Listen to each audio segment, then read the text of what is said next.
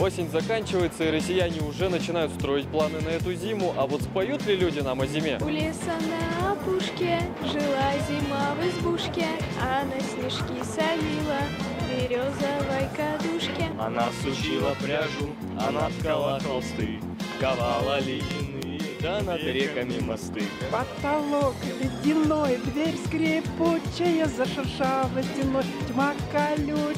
Как пойдешь за порог всюду ини, И за окон порог синий-синий. Ходила на охоту, гранила серебро, Сажала тонкий месяц, в хрустальное ведро. Деревьям шубы шила, дарила санный путь, А после в спешила в избушке отдохнуть. Потолок ледяной, дверь скрипучая, зашуршала стеной тьма колючая, как пойдешь за порог, всюду ини, а из окон порог синий.